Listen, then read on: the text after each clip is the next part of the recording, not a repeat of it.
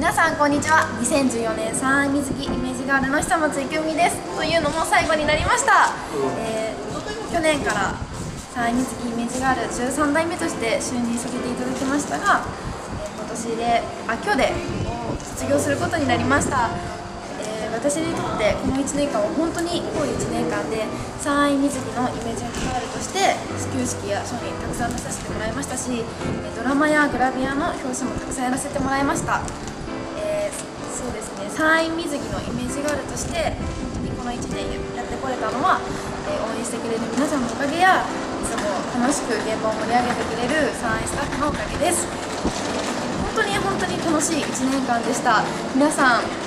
応援本当にありがとうございました。またこれからスタートだと思って頑張るのでぜひまだまだ見守ってていただけたらいいなと思います。そして次は2015年の三愛水着イメージガールにバトンタッチします。バトンタッチバイバーイ